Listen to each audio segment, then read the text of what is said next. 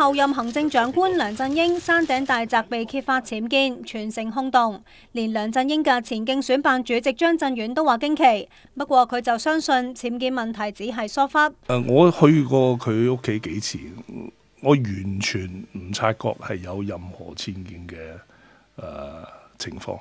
今次嘅問題呢，你可以怪佢係疏忽，佢亦向公眾道歉咗，佢係疏忽。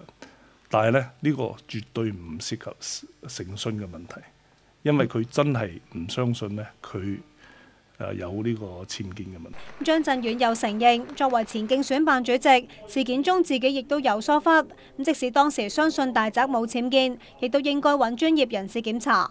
但係佢就冇正面回應梁振英拒絕公開為清拆僭建物提供意見嘅測量師嘅名。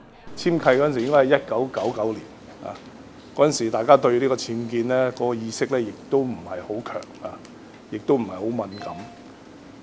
啊，至於當時佢揾咗一個建築測量師去誒、去睇下，包括個屋本身啊，有冇咩架構問題啊，有冇白蟻啊，啊有冇一啲誒違規違法嘅嘢，但係唔一定係指定話啊，你去睇下有冇僭建嘅嘢啊。张振远又话：相信事件对新政府会有一定嘅影响。咁对于梁振英希望喺市区兴建公屋，本身系市建局主席嘅张振远就话：政府拥有唔少嘅市区土地，市建局亦都可以将收翻嚟嘅市区重建土地俾政府兴建公屋。香港宽频电视记者胡海文报道。